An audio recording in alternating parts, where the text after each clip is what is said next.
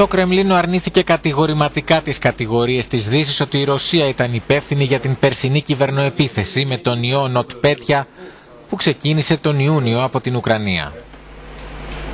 Ο Λευκός Οίκος υποστήριξε ότι επρόκειτο για ρωσική προσπάθεια να αποσταθεροποιηθεί η Ουκρανία και πρόσθεσε ότι μετά από αυτήν την ρωσική ενέργεια θα υπάρξουν διεθνείς συνέπειες.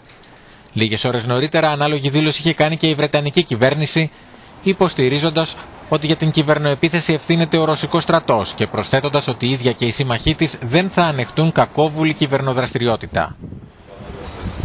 Βασική στόχη του ιού Νοτπέτια ήταν ο Ουκρανικός οικονομικός, ενεργειακός και κυβερνητικός τομέας. Ο ιός Νοτπέτια προκάλεσε παράλυση στους ηλεκτρονικούς υπολογιστές της κυβέρνησης και επιχειρήσεων της Ουκρανίας προτού επεκταθεί στην υπόλοιπη Ευρώπη και τον κόσμο, σταματώντας τις δραστηριότητες σε λιμάνια, αεροδρόμια, εργοστάσια και γραφεία.